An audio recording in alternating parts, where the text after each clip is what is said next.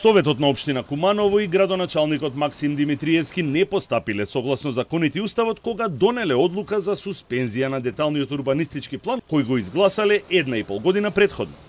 Уставниот суд на денешната седница донесе одлука со која се укинува одлуката на Советот и на градоначалникот Димитриевски за суспензија. Советот на општина Куманово го носи дупот на 28 декември 2021 година, а потоа на 6 јуни минатата година истиот го суспендира.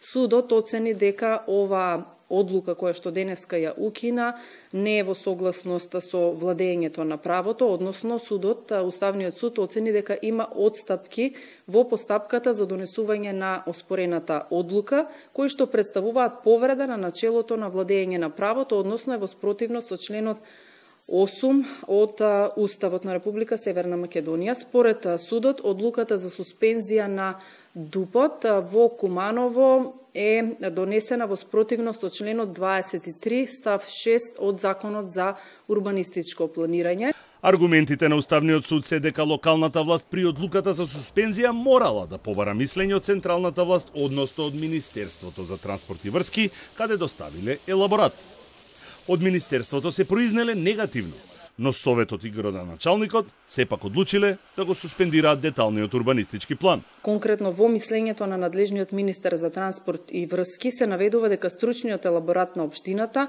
не содржи конкретни податоци со кои се докажува несомнена штета по јавниот интерес која што е воочена во тек на спроведување на планот. Во Кумановскиот суд минатата недела почна процес каде на обвинителната клупа е токму градоначалникот Димитриевски по приватна кривична пријава на две компании инвеститори кои требало таму да градат зграда и кои ја поднесоа иницијативата до Уставниот суд која денеска заврши со одлука.